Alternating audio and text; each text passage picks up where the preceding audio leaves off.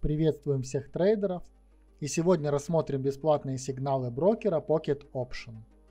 Самыми простыми сигналами у брокера может послужить панель настроения рынка, которая находится внизу над торговой панелью.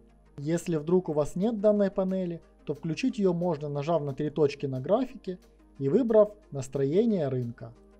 Суть данного индикатора сводится к тому, что он показывает, какое количество сделок сейчас совершается на платформе у брокера.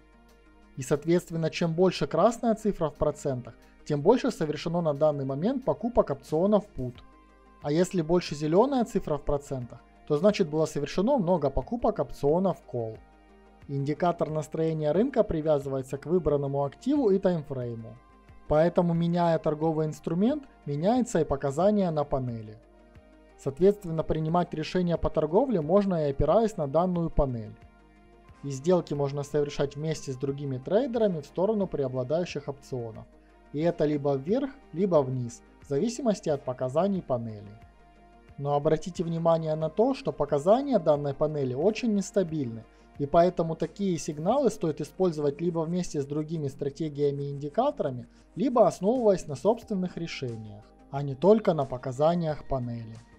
Более качественные сигналы можно найти на панели сигналов, которая находится в правом меню. И открывая данную панель, можно увидеть все сигналы, которые есть для каждого инструмента. Также можно посмотреть сигналы для любого таймфрейма, вплоть до 4-часового графика. В настройках на данной панели можно запустить системные сигналы, которые появятся слева под названием инструмента. Как уже стало ясно, направление сигналов можно определить по стрелочке вверх или вниз. И также обратите внимание, что есть сигналы с одной стрелочкой, а есть сигналы с двумя стрелочками. И соответственно, чем больше стрелочек, тем сильнее сигнал.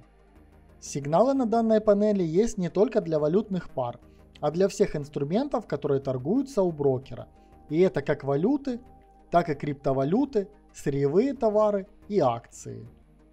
Но особое внимание стоит обратить на информацию, которую можно увидеть, нажав на знак вопроса на панели, где сам брокер говорит о том, что данные сигналы основаны на индикаторах, доступных на платформе, например, скользящие средние или линии Боллинджера, и поэтому сигналы не могут быть абсолютно точными. И поэтому сам брокер настоятельно рекомендует использовать сигналы только в качестве дополнительных, но никак не самодостаточных инструментов технического анализа. А если говорить проще, то используйте данные сигналы только вместе со своими стратегиями или индикаторами. Если вы хотите получить еще больше полезной информации, то найти ее можно на нашем сайте по ссылкам в описании. Удачной торговли!